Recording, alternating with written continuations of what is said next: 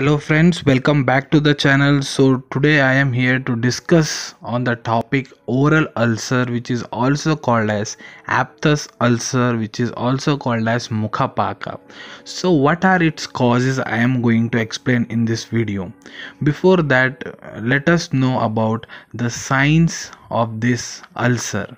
So we will have pain. The pain will get aggravated on taking of hot and spicy food in severe cases, we can also have fever and swollen lymph nodes in the neck. So, next I will explain the causes. The first cause is vitamin B12 deficiency. So, when we are not taking proper diet, we are not eating green leafy vegetables, then we will have the deficiency of vitamin B12 and we can have aphthous ulcer. The next cause will be smoking and alcohol intake. If we are smoking too many cigarettes bds and if we are taking too many alcohol daily so we can have the aphthous ulcer. Next cause is spicy food.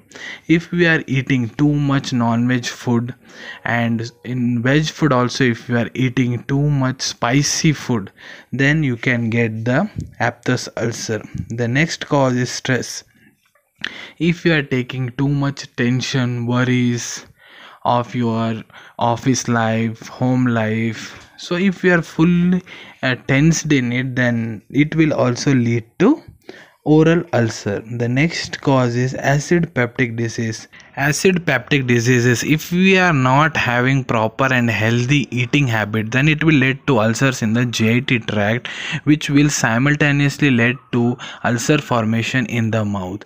The last cause for the oral ulcers is dental dentures. So there are lot of many causes for it but what, what are the common causes for the oral cancer aphthous ulcer or mukhapaka i have explained in this video.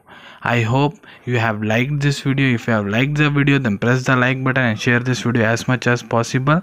If you want to see the same kind of medical content in future do subscribe to the channel.